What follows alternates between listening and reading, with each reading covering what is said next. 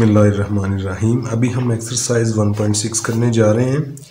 तो इसको दो तरीक़ों से सॉल्व करना है। Use matrix if possible solve following system of linear equations by the matrix inversion method और दूसरा है क्रैमर्स रूल तो एक मेथड हमारा होगा मैट्रिक्स इन्वर्जन मेथड तो इसको अगर उर्दू में हम बोलें तो इसको बोलेंगे हम ज़रबी मकूस का तरीका। और दूसरा है हमारे पास क्रामर्स रूल। और क्रामर्स रूल को हम उर्दू में भी क्रामर रूल ही बोलते हैं। तो ये दो तरीके हैं। हमने जो भी क्वेश्चन लेने हैं, पहले उसको इन्वर्जन मैट्रिक्स इन्वर्जन मेथड से सॉल्व कर लेंगे, बाद में उसको क्रामर रूल से सॉल्व कर लेंगे। यानी कि इसके हर पार्ट को हमने दो दफ़ा सॉल्व करना है। एक दफ़ा इस पहले मेथड से, दूसरी दफ़ा इस दूसरे मेथड से। तो ये लीनियर इक्वेशंस दो हमें दी हुई हैं two x minus two y is equal to four three x plus two y is equal to six तो इसको पहले हम मैट्रिक्स इन्वर्जन मेथड से सॉल्व करने वाले हैं। तो सबसे पहले तो इस, ये जो इक्वेशंस हैं, इनको हम मैट्रिक्स की मैट्रिसेस की फॉर्म में लिखेंगे या कॉलमों की शक्ल में लिखेंगे। तो सबसे पहला कॉलम जो बनेगा वो इनके कोफिशेंट्स का कॉलम बनता है या इनके अददी सरों का कॉलम एक्स का कोफिशेंट या अददी सर दो है वाई का जो है वो माइनस टू ये साथ अलामत भी जो है वो कोफिशेंट में शामिल होती है। एक्स का कोफिशेंट थ्री है वाई का कोफिशेंट जो है वो टू है। ये हमने इसके कोफिशेंट्स का पहला कॉलम बना लिया, और दूसरा कॉलम बनेगा, इसके जो वेरिएबल्स हैं, मुतगैर हैं, उनका कॉलम बनेगा, और इस दोनों क्वेश्चन के अंदर दो ही मुतगैर हैं, एक एक्स है और एक वाई है। इक्वल टू और ये सामने जो है भाई, ये कांस्टेंट्स जो हैं, इनका कॉलम बनेगा। तो इस कॉलम का नाम हमारे पास इसको हम कैपिटल ए रखेंगे, इसको एक्स रखेंगे, और इसको हम कैपिटल बी रखेंगे। क्योंकि हमें पता है कि जो मैट्रिसेस या कॉलमों के नाम होते हैं, वो हमेशा कैपिटल लेटर में लेते हैं। इसमें से हम एक्स की वैल्यू फाइंड कर लेते हैं। X is equal to A इस साइड पे आके ए इन्वर्स हो जाएगा, साथ बी आ गया। तो ए इनवर्स की हमारे पास क्या फार्मूला है? हमने पहले पढ़ा हुआ है, एक बटा ए मकता एडजाइंट ऑफ़ ए और साथ हमारे पास है बी तो अब हमें एक्स की वैल्यू फाइंड करने के लिए हमारे पास ए का मकता होना चाहिए ए का एडजाइंट होना चाहिए और कल बी होना चाहिए। बी तो हमारे पास मौजूद है चार छः की शक्ल में, लेकिन अभी हमारे पास ए का मकता भी नहीं है ए का डिटर्मिनेंट भी नहीं है और ए का एडजाइंट भी नहीं है। तो अब हमने इस फार्मूले को दोबारा इस्तेमाल तब करेंगे, ये हमारा मेन फार्मूला इसको दोबारा हम तब यूज़ करेंगे जब हमारे पास ये ए का मकता भी ए का मकता भी होगा या ए का डिटर्मिनेंट होगा ए का एडजेंट भी होगा और कालब भी तो हमारे पास ऑलरेडी मौजूद है। यानी कि ये दो चीज़ें हमें चाहिए। तो ए का मकता पहले मालूम करते हैं।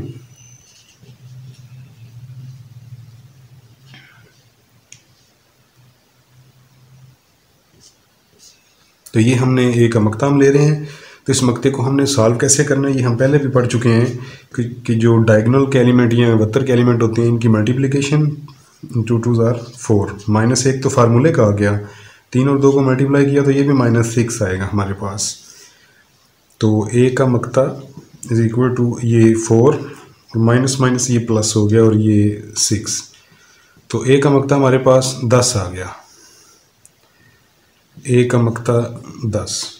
तो एक तो ये तो वैल्यू हमने फाइंड कर ली, इसके लिए अब हमें एक एडजॉइंट चाहिए। तो कॉलम ए का हम एडजॉइंट ले लेते हैं। Adjoint of A is equal to adjoint of किस कॉलम का एडजॉइंट ले रहे हैं? वो कॉलम लिखें। दो, नफी दो, तीन और दो। तो एडजॉइंट ऑफ़ ए अब इसका एडजॉइंट ले लें। एडजॉइंट क्या होता है कि जो डायगनल या वत्तर के एलिमेंट होते हैं, उनको इंटरचेंज कर लेते हैं। ये दो दो हैं तो ये तो दो दो ही रहेंगे और इनके साइन या अलामतें चेंज करते हैं। नफ़ी दो जो है, वो जमा दो और जमा तीन जो है, वो नफ़ी तीन हो जाएगा। तो ये हमने एडजेंट भी फाइंड कर लिया। बी हमारे पास ऑलरेडी मौजूद है। अब हम ये फार्मूला दोबारा से इस्तेमाल करते हैं। एक्स इज़ इक्वल टू एक बटा ए का मकता एडजेंट ऑफ़ ए और इसके साथ है जी डॉट बी कॉलम तो अब इसमें वैल्यूज़ इसकी पुट कर दें। ए का मकता हमारे पास है दस। एडजेंट ऑफ़ ए हमने क्या निकाला? दो दो माइनस तीन और ये दो। और बी कॉलम हमारे पास क्या है? वो है चार और छः। तो एक बटा दस को भी सेम ही रखते हैं इधर ही, और इन दोनों को मल्टीप्लाई कर देते हैं दोनों कॉलमों को।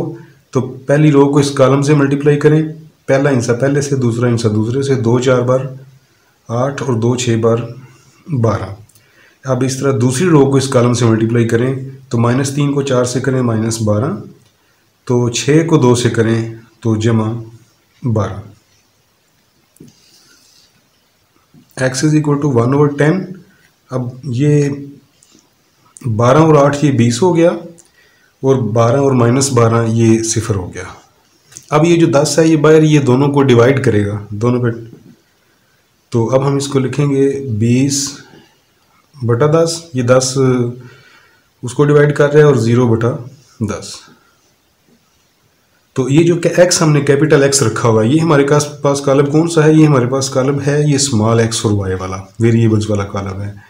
तो इनको हम डिवाइड करेंगे, बीस बटा दस तो ये आ जाएगा दस, दो बार बीस, और ज़ीरो बटा दस जो है, ये तो ज़ीरो आ जाएगा। और यहाँ पे एक्स की वैल्यू दो आ गई, और वाई की वैल्यू जो है ज़ीरो आ क्योंकि ये दोनों कॉलम बराबर हैं, इसका मतलब है कि ये फ़र्स्ट वाला फ़र्स्ट वाले के बराबर है सेकंड वाला सेकंड वाले के बराबर है। तो x is equal to two आ गया, और y is equal to zero आ गया तो हमारे पास आंसर है टू वो ज़ीरो हमने ये फ़र्स्ट क्वेश्चन का फ़र्स्ट पार्ट जो है, हमने मैट्रिक्स इन्वर्जन मेथड से कर चुके हैं।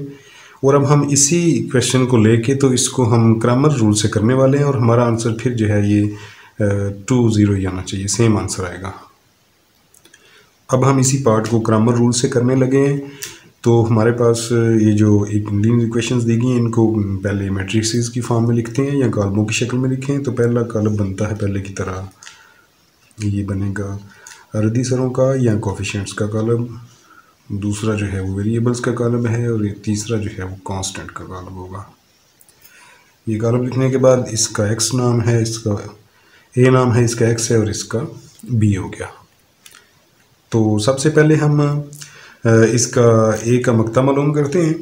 तो ए का मकता आएगा हमारे पास तो कॉलम ए कौन सा है? दो, नफी दो, तीन और दो। तो ए का मकता देखते हैं हमारे पास क्या आता है? दो दो बार चार माइनस फार्मूले का, तीन दो बार माइनस छः तो ए का मकता तो पहले की तरह हमारे पास दस ही आना है ना? ये दस आ गया। तो अब हमें ए एक्स चाहिए। ये मेन पॉइंट है इस क्वेश्चन का। एक हम ए एक्स कॉलम लेंगे और एक कॉलम हम ए वाई लेंगे। ए एक्स का भी माड होना है और ए वाई का भी ये मकता होना है सॉरी ए एक्स का भी मकता होगा, ए वाई का भी मकता होगा। तो ए एक्स और ए वाई कैसे हमने लेने हमारे पास ये कॉलम देखें। Minus two three two two minus two three और टू ये हमारे पास दोनों ए कॉलम लिख दिए हैं। अभी एक्स ए वाई नहीं मैंने निकाला। तो ये जो बी कॉलम है, चार और छः इसको उठा के हम पहले कॉलम की जगह पे रख देंगे। दो तीन था ना, इसकी उठा जगह पे हमने रख दिया चार और छः ये ए एक्स होगा और अगर इसी बी कॉलम को उठाकर हम ये दूसरे कॉलम की जगह पे रख देंगे तो ये हमारे पास ए वाई होगा। इस तरीके से हमने ए एक्स और ए वाई फाइंड करना है। अब दोनों का मकता या डिटर्मिनेंट हल करेंगे। चार दो बार आठ आएगा माइनस फार्मूले का छः दो बार माइनस बारह। तो यहाँ पे भी हम इसका मकता हल करते हैं। छः दो बार बारह माइनस चार तीन बार बारह। तो ए एक्स का मकता आ गया आठ माइनस माइनस प्लस बारह, और ये तो आ गया बीस। और ए वाई का बारह बारह जो है वो कैंसिल हो गया तो ये हमारे पास ज़ीरो आ गया। तो ए एक्स का मकता बीस और ए वाई का मकता जो है वो ज़ीरो अब हमारे पास दो फार्मूले हैं जिसके जिनके ज़रिए हम एक्स और वाई की वैल्यू फाइंड करेंगे। एक फार्मूला है एक्स की वैल्यू फाइंड करने का ए एक्स का मार्ड ओवर ए का मार्ड और दूसरा वाई की वैल्यू फाइंड करने का ए वाई का मार्ड ओवर ए वाई का मकता। तो ए एक्स का मकता और ए का मकता ए वाई का मकता और ए का मकता। तो x is equal to A x की वैल्यू हमारे पास 20 है और ए मक्ता की वैल्यू हमारे पास 10 है तो ये कैंसिल करने से दो आ गया। इसी तरह ए वाई की वैल्यू हमारे पास ज़ीरो है और ए मक्ता की वैल्यू 10 है तो ये हमारे पास ज़ीरो आ गया। तो अब हमारे पास फिर से देखें, पहले भी हलसेट हमारा दो ज़ीरो था और अभी हमारे पास हलसेट आ रहा है दो और ज़ीरो तो ये एक्स और वैल्यू की हमने फाइंड वैल्यूज़ फाइंड कर ली हैं। और हमने एक ही पार्ट को दोनों तरीक़ों से किया है मैट्रिक्स इन्वर्जन मेथड से और दोबारा हमने किया बाई क्रैमर रूल तो आप देख रहे हैं कि दोनों की वैल्यूज़ जो हैं वो आंसर सेम आ रहे हैं। तो अभी पहले क्वेश्चन का पार्ट फोर है तो इसी को हम इन्वर्जन मेथड के लिए सॉल्व करने लगे हैं। सबसे पहले इसको लिखेंगे मैट्रिसेस की फॉर्म में कॉलमों की शक्ल में, तीन माइनस दो, पाँच माइनस दो।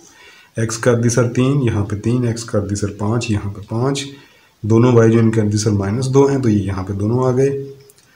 और दूसरा हमारे पास मैट्रिक्स बनता है इसके वेरिएबल्स का, और वो है x y is equal to ये हमारे कांस्टेंट ये ए है, ये एक्स है, और ये बी है। यहाँ से हम एक्स की वैल्यू फाइंड कर लेते हैं। ए इस साइड पे आके ए इन्वर्स हो गया, और साथ बी तो इन्वर्स की, का फार्मूला हमारे पास क्या है? एक बटा ए का मकता। तो एडजाइंट ए डाट ये इस तरह से। तो अब इस, ये फार्मूला जो हमें नज़र आ रहा है, इसके अंदर एक मकता ए का मकता है, एक एडजाइंट है और कलब बी है। कलब बी तो हमारे पास मौजूद है, लेकिन ए का मकता और एडजाइंट हमें पहले चाहिए। तो पहले हम ए का मकता मालूम करेंगे, फिर ए का एडजाइंट मालूम करेंगे और फिर इस फार्मूले में वैल्यूज़ पुट कर देंगे। तो ए का मकता मालूम करते हैं ए कलब हमारे पास है तीन, नफ़ी दो, पाँच, नफ़ी दो। तो ए का मकता कैसे मालूम करते हैं? डायगनल के एलिमेंट की मल्टीप्लिकेशन तीन नफ़ी दो, ये बराबर माइनस सिक्स आ गया, और बाकी माइनस फार्मूले का, और पाँच दो बार माइनस दस। तो ए का मकता माइनस छः माइनस माइनस प्लस हो गया, और ये टेन तो ए का मकता जो है वो प्लस फोर आ गया। अब हम एक एडजाइंट मालूम करेंगे। एडजाइंट ए और एडजाइंट ऑफ़ ए कॉलम तीन नफ़ी दो, पाँच नफ़ी दो। तो डिजाइंट ऑफ़ ए कलब तो इनका डिजाइंट क्या होता है जी? जो डायगनल या वत्तर के एलिमेंट हैं, उनको आपस में इंटरचेंज कर दें। और बाकी दो जो एलिमेंट हैं, उनके साइन चेंज कर दें। माइनस टू को प्लस टू और फाइव को माइनस फाइव कर दिया। हमने मकता भी ए का फाइंड कर लिया और हमने ए का एडजॉइंट भी फाइंड कर लिया। अब ये दोनों वैल्यूज़ हम इस फार्मूले में पुट करेंगे तो फार्मूला हमारे पास है। X is equal to A का मकता एडजॉइंट ऑफ़ ए और सात ज़रब बी कलम एक्स इज़ इक्वल टू एक बटा एक मकता हमारे पास चार है, और एडजाइंट हमारे पास है नफ़ी दो दो नफ़ी पाँच और तीन, और बी कलम हमारे पास है नफ़ी छः और नफ़ी दस। अब हम इन दोनों कालमों को मल्टीप्लाई करेंगे। तो x इज़ इक्वल टू एक बटा चार। तो पहली रो को पहले कॉलम से मल्टीप्लाई करें नफ़ी दो और नफ़ी छः। ये तो आ गया जमा बारह। दस दो बार नफ़ी बीस नफ़ी बीस। दूसरे रो को अब कॉलम से मल्टीप्लाई करें माइनस पाँच को छः से करें माइनस पाँच को माइनस छः से तो ये तो जमा तीस आ गया। तीन को दस से करें तो ये तो नफ़ी तीस आ गया। अब बारह नफ़ी बारह जो है, नफ़ी आठ आएगा, और तीस और तीस कैंसिल होंगे तो ज़ीरो आएगा। तो अब हम यहाँ पे एक्स जो है कैपिटल एक्स ये वाला कॉलम कौन सा है? वेरिएबल का कॉलम है। तो ये अब हम यहाँ पे हम लिख लेते हैं। तो चार जो है, दोनों को तकसीम करेगा, आठ बटा चार और ज़ीरो बटा चार। तो यहाँ पे कैंसिल करने के बाद आंसर माइनस टू आ गया, और ज़ीरो बटा चार को जब हम कैंसिल करेंगे तो फिर हमारे पास आंसर ज़ीरो आ जाएगा। तो एक्स की वैल्यू हमारे पास आएगी माइनस टू ज़ीरो, और यही हमारा हाल सेट होगा। अब हम इसी क्वेश्चन को दोबारा से वो क्रामर रूल से करते हैं। तो क्रामर रूल से करने के लिए पहले इसको लिखें हम काल्बों की शक्ल में तीन नफ़ी दो, पाँच नफ़ी दो।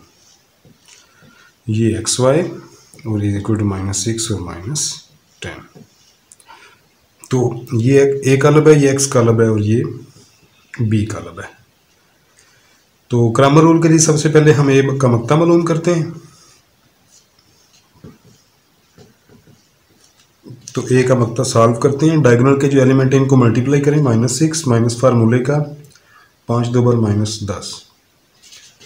तो ए का मकता माइनस छः और ये आ गया जमा दस। तो ए का मकता जो है, उसका आंसर हमारे पास आ गया फोर प्लस फोर लगा लें। फोर लगा लें, एक ही बात है।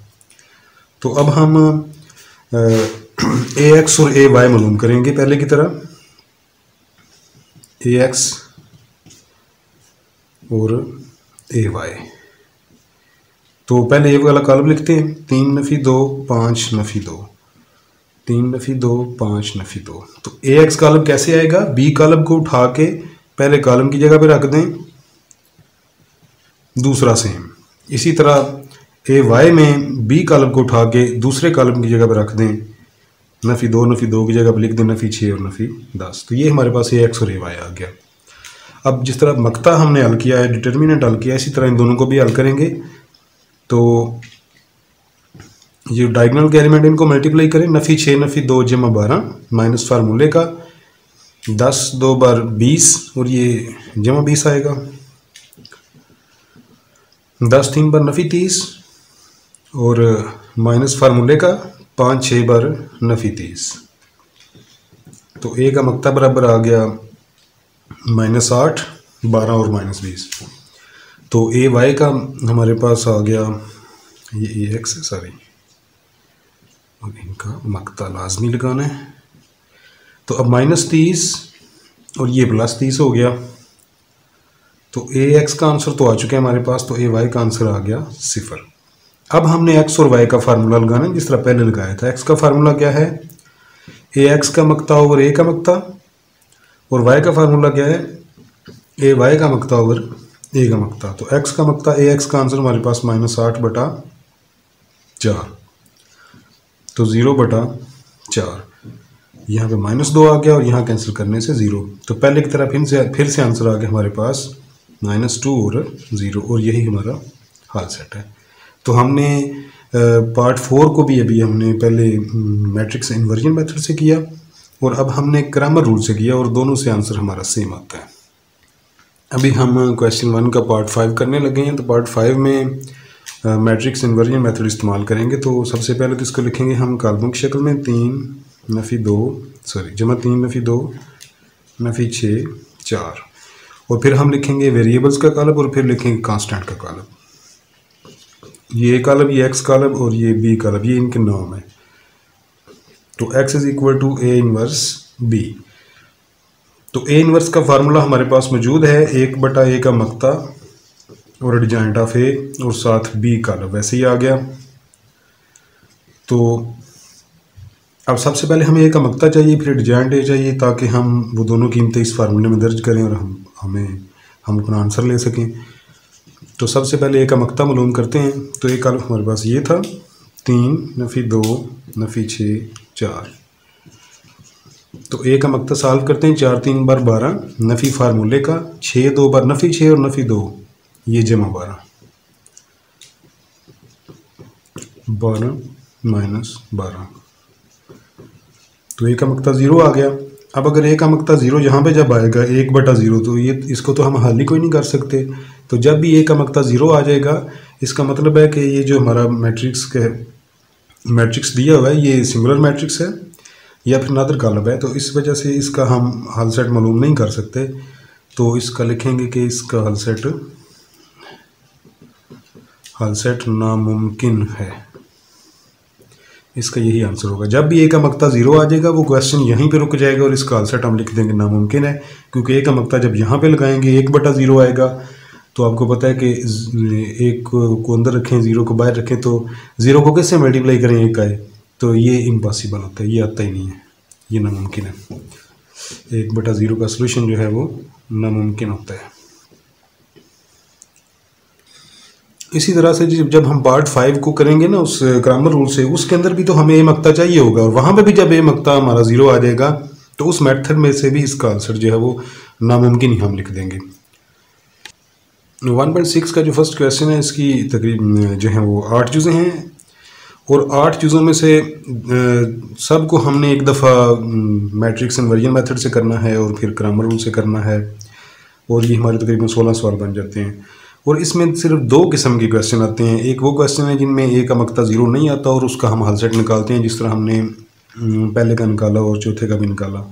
लेकिन दूसरी तरह का सवाल वो होता है जिसका मकता या डिटर्मिनेंट ज़ीरो आ जाता है उसका सेट नामुमकिन होता है वो हमने पाँचवा सवाल इसका भी किए तो दो ही तरह के सवाल हैं, बाकी तरीका सबका सेम है तो हर क्वेश्चन को समझाना यहाँ पे ज़रूरी नहीं है।